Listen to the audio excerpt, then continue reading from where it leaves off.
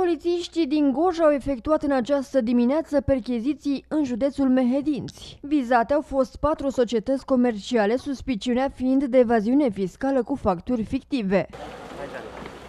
Nu știu pentru ce sunt. Nu știu. Ce ați făcut? Sunteți vinovat? Ați comis infracțiunea de evaziune fiscală? Ați emis facturi? Ce ați făcut? Pentru ce v-au ridicat? N-am, nu pot să spun Ce? nimic. Aveți firmă de materiale de construcții? Nu, nu, nu. Ați făcut afaceri cu cei din Meteor? Poftim? Afaceri cu Meteorul? Nu, nu. De ce v-au dus la poliție?